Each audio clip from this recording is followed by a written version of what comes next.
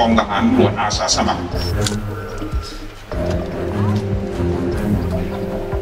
จนถึงวันที่ 29 นะครับ เช้าของ 30 นะฮะก็คงจะเป็นการสรุปผลการปฏิบัติงานนะฮะคนพี่น้องชาวจังหวัดนครปฐม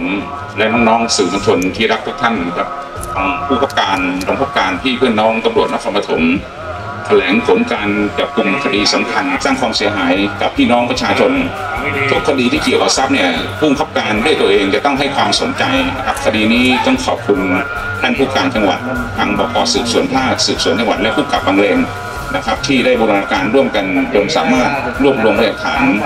ขอสารจังหวัดนครปฐมบอกหมายจับแล้วก็ติดตามจับกลุ่มตัวได้ ท่านจะเห็นว่าเสื้อผ้าที่เห็นที่ท่านเห็นที่ใส่อยู่เนี่ยก็คือเสื้อผ้าที่ก่อเหตุนะครับ ซึ่งคดีเกี่ยวกับทรัพย์ในพื้นที่ภาคเจ็ดเนี่ยขณะนี้ลดลงเยอะมาก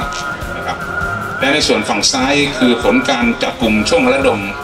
20 วันนี้ก็ 23 ได้ระดมเพิ่งได้ 2 วัน นี่คือผลงานของพี่เพื่อนน้องตำรวจนครปฐมหน่วยเดียวนะฮะไม่รวมจังหวัดอื่น หลังจากระดมครบวันที่29แล้วเนี่ยผมจะภาพรวม 8 จังหวัด เราจะได้นำชี้แจงต่อพี่น้องประชาชนอีกครั้งหนึ่ง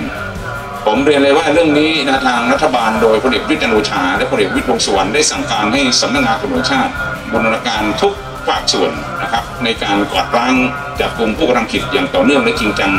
โดยเฉพาะอาวุธปืนที่ท่านเห็นเนี่ยเป็นอาวุธปืนถ้าหากไปก่อเหตุ หรือตกไปในมือของคนร้ายที่ที่เป็นมิจฉาชีพก็จะเป็นอันตรายต่อพี่น้องประชาชน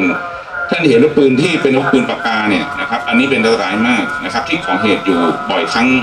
ซึ่งตรงนี้เนี่ยเราก็จะประสานทางฝ่ายปกครองว่าอาวุธปืนดังกล่าวเนี่ยเราจะให้กองพิสูจน์หลักฐานตรวจว่ามีการก่อเหตุที่ไหนได้ ถ้าก่อเหตุโดยเจตนาหรือปืนที่มีญาติเราจะประสานนายทะเบียนขอเพิกถอนทุกราย อันนี้ก็เรียนน้องๆสื่อมวลชนนะครับ ครับก็อยากเรียนเลยว่าในในวันนี้นะครับ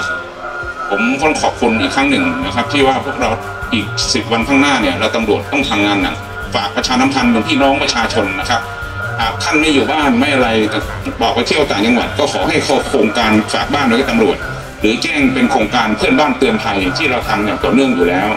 แต่อย่างไรก็ตามหากท่านคิดว่าไปไหนแล้วไม่ปลอดภัย ท่านก็แจ้งทางตำรวจใกล้เคียง เรามีตำรวจที่จะอำนวยความสะดวกให้ เรามีจุดตรวจจุดสกัด เรามีจุดบริการประชาชนครอบคลุมทั้ง 8 จังหวัดทุกเส้นทาง ซึ่งเรื่องนี้ผมได้มอบหมายให้ท่านรองผู้จัดการ ท่านผู้ผู้การลงทั้งหัวหน้าสถานีลงไปเพื่ออำนวยสะดวกให้พี่น้องประชาชนด้วยตัวเองถามนี้นะในช่วงเทศกาลคริมาสก็ดีปีใหม่ก็ดี ผมได้สั่งการโดยมอบหมายให้รองผู้จัดการฝ่ายป้องกันและปราบปรามนะครับมีวิสั่งการทุกจังหวัด ทุกหัวหน้าสถานีมีการสำรวจ โดยเฉพาะแหล่งที่ผลิตคุก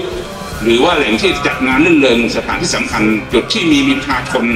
มาเที่ยวจำนวนมาก ผมสั่งการให้จัดตั้งสปกส่วนหน้าจัดกำลังบูรณาการทุกภาคส่วนทั้งกำนันผู้ใหญ่บ้านและผู้นำชุมชนนะครับ มาดูแลความสงบเรียบร้อย ไม่ว่าจะเป็นงานวัดงานสถานต่างๆ โดยเฉพาะสถานที่ท่องเที่ยว และสำหรับการฝากพี่น้องประชาชนการยิงปืนทุกขนอง หรือการยิงปืนช่วงปีใหม่สต์มาสเป็นสิ่งที่ผิดกฎหมาย หรือมีการจุดพลุจุดอะไรเป็นอันตราย อาจจะเกิดเพลิงไหม้อันนี้ต้องขอฝากประชาสัมพันธ์เลยว่าขอให้ใช้ความระวัง และก็มีการตรวจสอบทุกแห่งในขณะนี้ร่วมกับฝ่ายปกครอง และก็ผู้นำชุมชนในพื้นที่ครับผมครับ